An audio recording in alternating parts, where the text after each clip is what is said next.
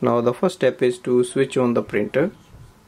And once our printer is on then we go to our macbook or our laptop and we open the browser.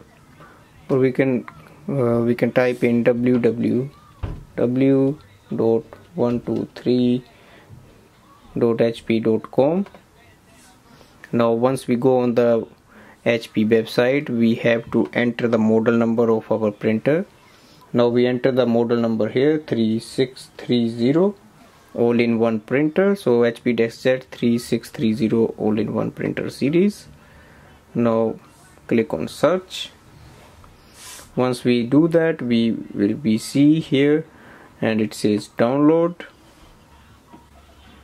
And we press it on continue and it will start to install now once it's installing we also have to make sure like, like our Wi-Fi or the home router is on. Uh, at the bottom of the screen it says connect to Wi-Fi network.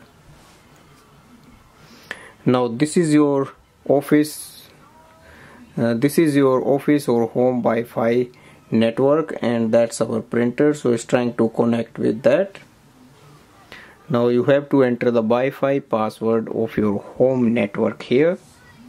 Whole process might take 5-7 minutes. It's not that long. So it's a very quick setup. And here you can see it says the inst installation was successful. Now your printer is connected to the Wi-Fi network. Press close. And now go to your laptop again in case you want to print from laptop. Just click on printers and scanners. Look for your printer here if you can't see just press plus button add printer or scanner. You can see HP DeskJet 3630 series. Now click on add.